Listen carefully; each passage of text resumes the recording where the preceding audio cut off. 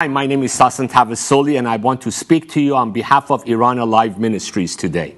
God is on the move in Iran.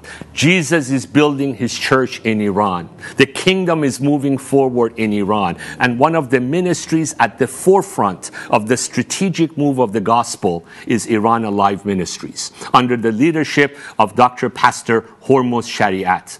It's an honor for me to be a friend and ministry partner with Iran Alive Ministries. Iran Alive is impacting Iran through the preaching of the gospel, by resourcing and equipping church leaders, by training the young generation of emerging Iranian leaders, by bringing the gospel into transforming every aspect of the Iranian society and culture. You are getting a front row seat to the work of God in Iran and in the Iranian communities around the world by coming into partnership with Iran Alive Ministries.